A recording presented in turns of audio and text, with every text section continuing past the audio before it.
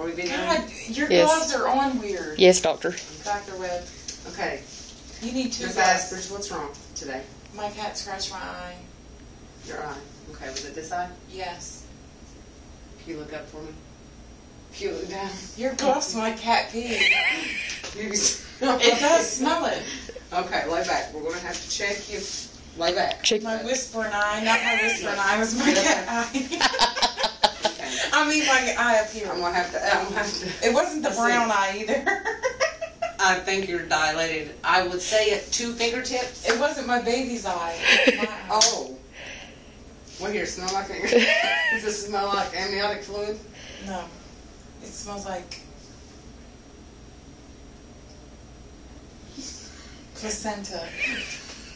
we're, we're worried. Let's, let's take a look at that eye. She, she can't stop sniffing it. Now this is what we do for eyes that are hurt. We give baby pet. I'm fogging up. You're what? My glasses are fogging up. I thought you said bobbin. Okay, we're gonna take your temp and your whispering eye. Let me look at, that was gross. I'm gonna have to ask you not to do that again. I think